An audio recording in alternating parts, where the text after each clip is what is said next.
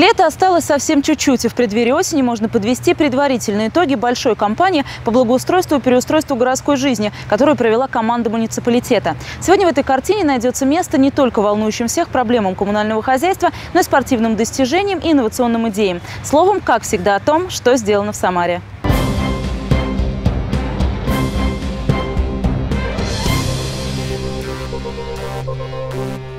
Испытание пройдено. Новую ливневку, что установили на советской армии около Гагаринского парка, проверили в действии. Поливальная машина устроила на тротуаре импровизированный потоп.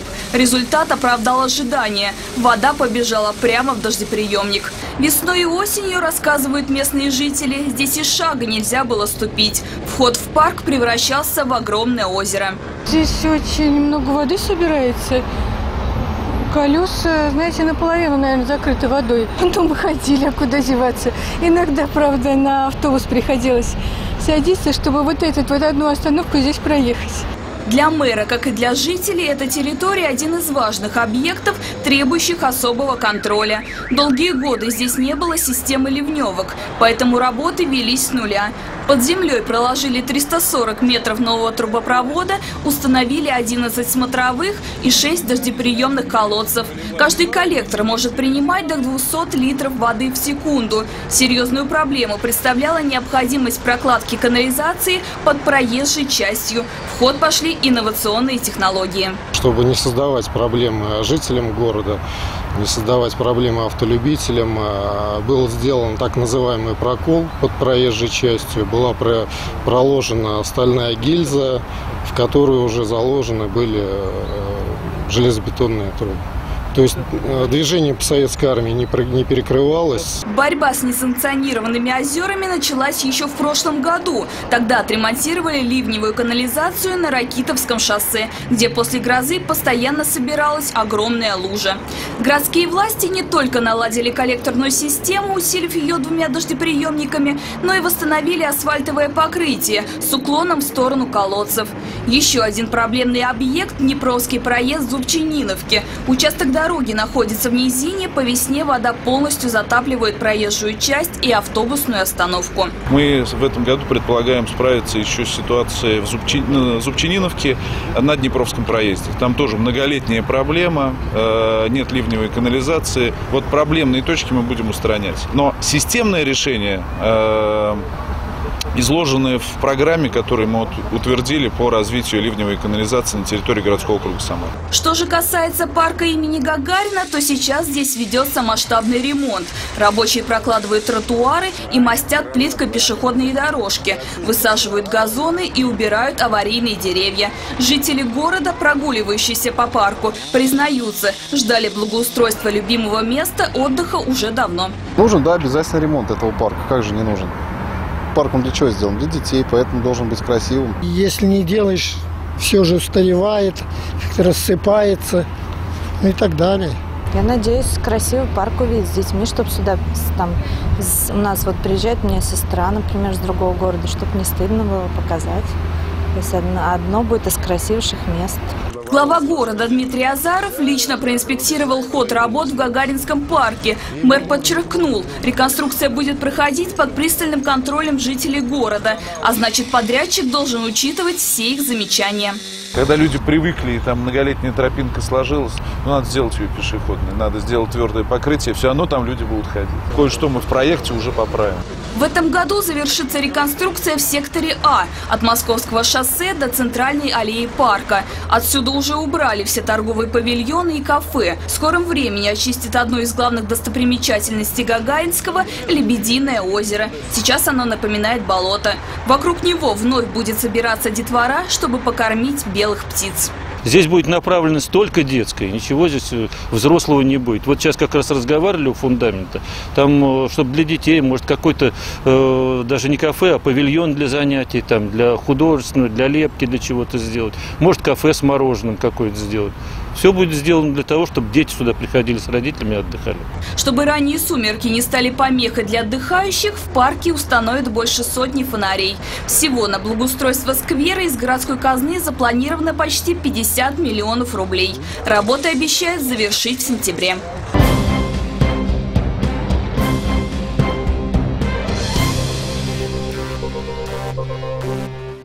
Городская жизнь – вечное движение, в том числе по автомагистралям. Всякое препятствие на пути этого движения неизбежно влечет неудобства. Но теперь дорожные ситуации можно заранее проиграть с помощью виртуальной транспортной модели города, а значит избежать многих ошибок в будущем. Когда у нас происходят э, плановые ремонты, либо аварии, мы должны понимать, куда эти корреспонденции, как они будут разбегаться по городу. Да? Ну, потоки будут, э, скажем так, переходить, закрыв ту или иную улицу. Поэтому нужна была электронная модель города.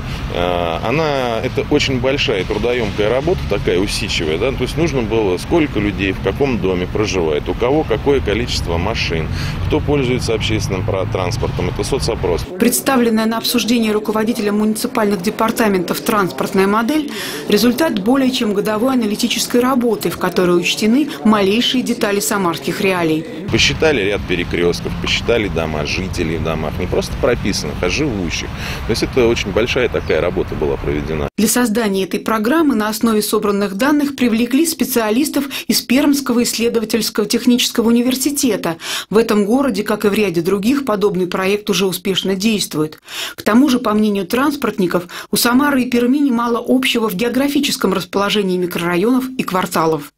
Виртуальная схема, на которую нанесены все объекты городского экстерьера, позволяет спрогнозировать результаты малейших изменений транспортных потоков. Вот построить школу в каком-то конкретном месте. Какова доступность будет этой школы для э, граждан, которые живут вот в округе? Как будет нагрузка на общественный транспорт, на личный транспорт, где надо парковки, где разворотные площадки. Вот то, что позволяет делать эту модель. Это очень важный инструмент для работы архитекторов, а, проектировщиков, строителей, дорожников. Впервые такую модель мы с вами получаем. Преддверии проведения в Самаре игр чемпионата мира 2018 года транспортный прогноз жизненно необходим для грамотного проектирования магистралей. Самарские транспортники попробовали несколько сценариев, пользуясь виртуальной моделью. Как сейчас есть и увеличили количество автомобилей на 17 тысяч частных. Плюс еще подогнали где-то порядка там тысячи автобусов, да, которые придут. И, и увеличили еще на 20, на 20, на 20 тысяч э, людей, которые приедут поездом и самолетом. Город встал. Потом сделали поперечники, проиграли такую модель город немножко поехал. А когда мы сделали, э, скажем, поперечники и проложили магистраль центральную с ее потоками, э, на, на улице Новосадовая, ну, вот представьте такой вариант, можно заниматься стритрейсингом. То есть ее перекрывать не надо, она пустая. Впрочем, уже сегодня в Самаре действует участок магистрали, успешное преобразование которого было предварительно просчитано с помощью виртуальной карты города. Что пришлось сделать на Авроре, да, чтобы увеличить поток? Нужно убрать, уб... проиграли на Пятивижен, принципе, в микроуровне проиграли несколько перекрестков. Это аэродромные «Авроры» и э, промышленности «Авроры». Да, убрали кольцо, поток пошел. На презентации виртуальной модели «Самары» были учтены все профессиональные рекомендации специалистов профильных департаментов, курирующих транспорт, строительство и благоустройство. Ее усовершенствованный вариант будет использован на практике при осуществлении первоочередных дорожных проектов города уже в ближайшее время.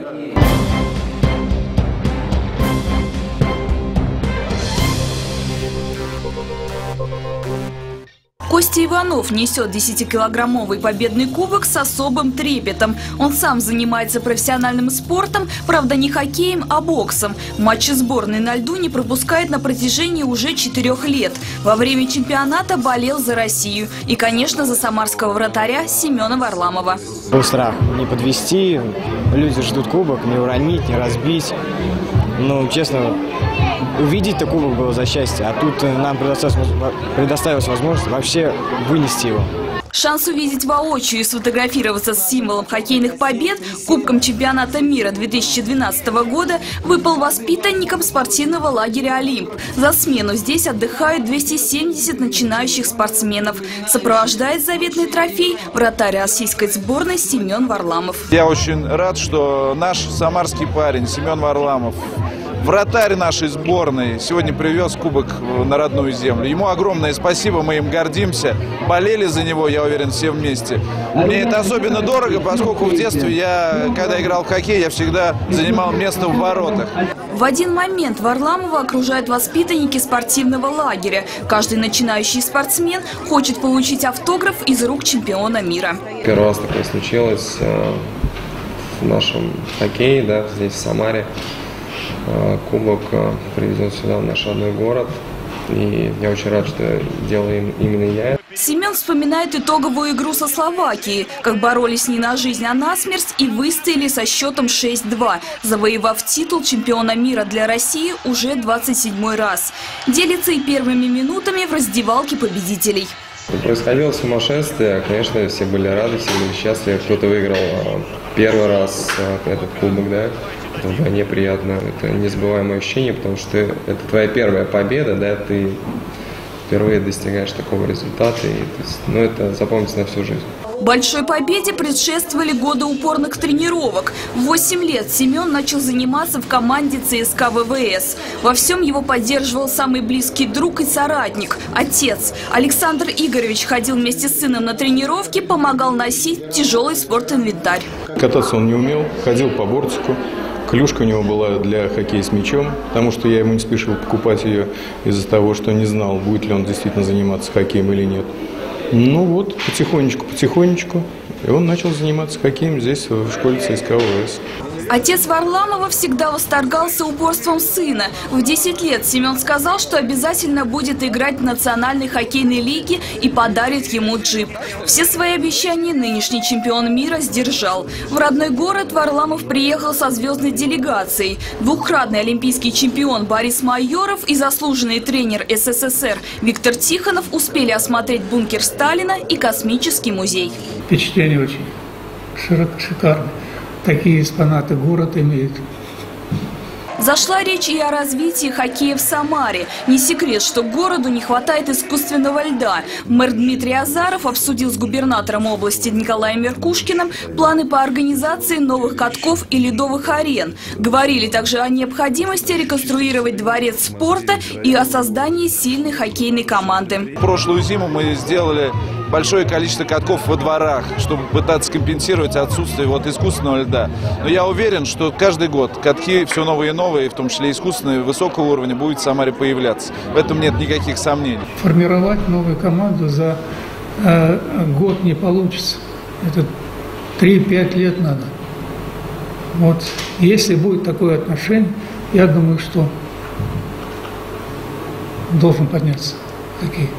На кабриолете с кубком в руках спортсмен мирового уровня едет по знакомым с детства улицам. Конечный пункт – Ледовый дворец спорта, точка отсчета хоккейной карьеры Варламова. Увидеть кубок и его завоевателя пришли более двух с половиной тысяч самарцев. Каждый из них мечтал сфотографироваться с символом побед, чтобы затем победы сопутствовали всю жизнь.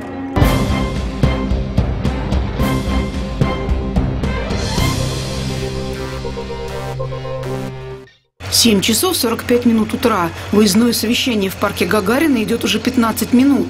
Сегодня уже второе. До этого руководитель Департамента благоустройства и экологии Евгений Реймер успел побывать на объекте в Красноглинском районе. Именно такой распорядок дня, когда с 7 часов начинаем совещание на объектах, он э, для лета э, он традиционный, то есть от сложившейся практики. Очень много кабинетной работы, но тем не менее я стараюсь э, все объекты посещать сам, потому что как-то с годами выработана привычка доверять больше своему взгляду, чем докладам подчиненных. Доклады подчиненных тут же в ритме утренней ходьбы. Отношения с коллегами, многие из которых работают с Реймером не один год, строятся по его собственному признанию на основе партнерского доверия. Но в ситуациях, когда что-то мешает делу, приходится проявлять жесткость. Когда все идет по плану, то, естественно, как вы говорите, дружеско-партнерские, цель одна, и идем к ней. Но есть подрядные организации, которые, значит, выиграв торги, просто не то, что не выполняют свои обязательства по графику, а качество не устраивает и все. Тогда приходится быть жестким, куда деваться. Утренний рейд по парку Гагарин никаких неприятных неожиданностей не принес. Работы по ремонту этой зеленой зоны идут по графику, а точнее по уплотненному графику. После утверждения городской думой новой осенней даты празднования Дня города нужно успеть привести парк в порядок к 9 сентября, на месяц раньше запланированного. Мы сегодня находимся в парке Гагарина. У нас в этом году беспрецедентно 150 миллионов рублей на парки и скверы выделено. И, значит, э, вот в этих 150 миллионах рублей два больших объекта – это площадь Кирова и парк Гагарина, и 9 скверов. Вот все 9 скверов, перед тем, как сформировать задание, мы вместе с подчиненными проехали, определились с главами районов, определились, поставили задачу. Задача для руководителя департамента одновременно и простая, и сложная – вернуть парку Гагарина репутацию места для семейного отдыха, которая была утеряна за последние десятилетия. Парк-то был превращен э, в ярмарку, да, в торговую площадь, где торговали пивом и спиртными напитками. Очень много осталось места, э, где стояли кафе, которые ликвидировали, вывезли. Вот э, здесь порядка 50 вывезено торговых точек. Больше 80 торговых точек мы сейчас с площади Кирова убрали. Это место важно для Евгения Андреевича не только как для чиновника, но и коренного самарца. Там, где мы находимся, у меня двое детей сейчас трое внуков, и все они, вот парк Гагарин. Ну, вчера внучка прям в 8 часов поедем в парк Гагарин, и все. Ну, я говорю, я не могу, я на работе. В 8 вечера еще на работе привычный распорядок дня. Если команда, в которой ты работаешь, стремится изменить жизнь города к лучшему, подсчитывать часы, проведенные на работе, ни к чему. Такова точка зрения Евгения Реймера. Очень рад, что мне случилось э, работать в этой команде. И очень ценю это и горжусь, потому что никогда не было команды, которая была бы так однородной и нацелена на решение одной задачи. У Дмитрия Игоревича есть талант вот именно собирать вокруг себя людей, единомышленников, и нацелить их на общее. Вот вы говорите про мой режим работы, его режим более напряженный, чем мой. Если я уезжаю в 8, то он бывает, что через, я почему знаю, что из кабинета в 10 мне через секретаря звонит, через помощника. В сфере благоустройства Евгений Реймер уже много лет, и по его собственному признанию знает город досконально. Сфера его ответственности, что называется, на виду у всех. Городской экстерьер – это то, с чем ежедневно сталкивается каждый, начиная с дорог и заканчивая чистотой тротуаров. Потому и откликов со стороны горожан больше всего, пожалуй, на эту тему.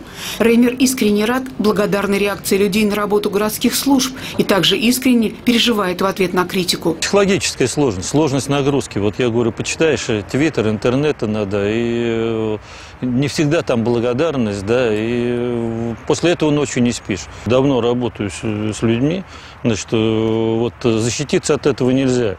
И вот когда проходит период вот, э, отчетов главы города, конечно, очень приятные, хорошие отклики, но с очень большой болью воспринимаются вот вопросы людей, потому что, к сожалению, бюджет города ограничен, и решить э, единовременно все эти вопросы, их просто нельзя.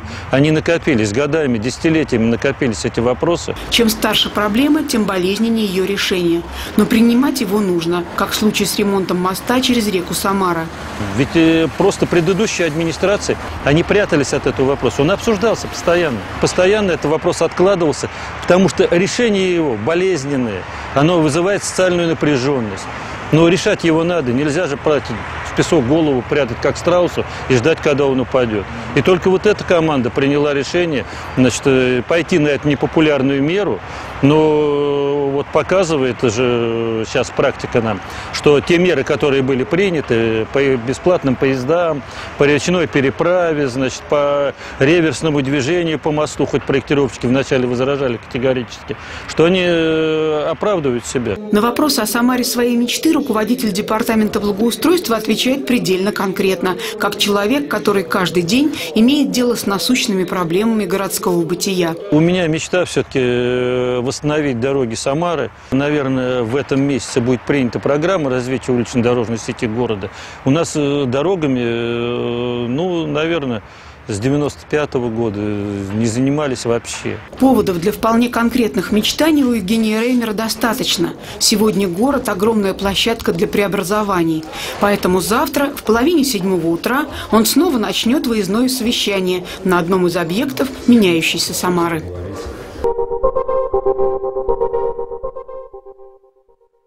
Следующий раз мы встретимся с вами в сентябре, когда Самара окончательно войдет в рабочий ритм, а значит появятся новые темы и сюжеты для программы «Сделано в Самаре».